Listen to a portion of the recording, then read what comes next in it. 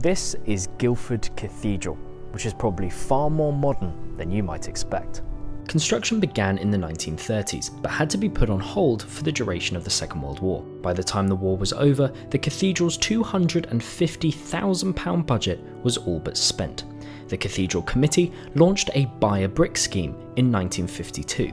Queen Elizabeth II and Prince Philip both signed bricks, allowing work to be completed in 1961. Rather interestingly, Guildford Cathedral has a rather large connection to India, with one of the first provosts of the cathedral, Reverend Walter Boulton, having been a major minister in India. And this massive cross is actually built from the wood of a warship called the HMS Ganges. The Ganges served out of the Bombay Dockyard, a massive shipyard originally set up by the East India Company in 1735.